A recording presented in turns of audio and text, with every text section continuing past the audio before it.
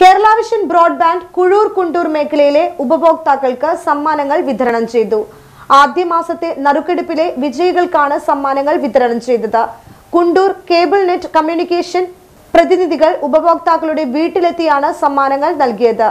നിതിൻ കുര്യാപ്പള്ളി എളന്തിക്കര സ്റ്റെവിൻ പയ്യപ്പള്ളി കുത്തിയത്തോട് ഫെബിൻ പയ്യപ്പള്ളി എളന്തിക്കര എന്നിവരാണ് ആദ്യഘട്ട നറുക്കെടുപ്പ് വിജയികൾ.